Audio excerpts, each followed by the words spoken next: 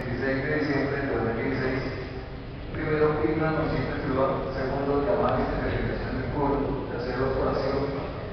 Cuarto, aprobación. Segundo debate del proyecto de acuerdo por medio del cual se crea la Junta Municipal de Defensora de Animales de Tuluá y se dictan otras disposiciones.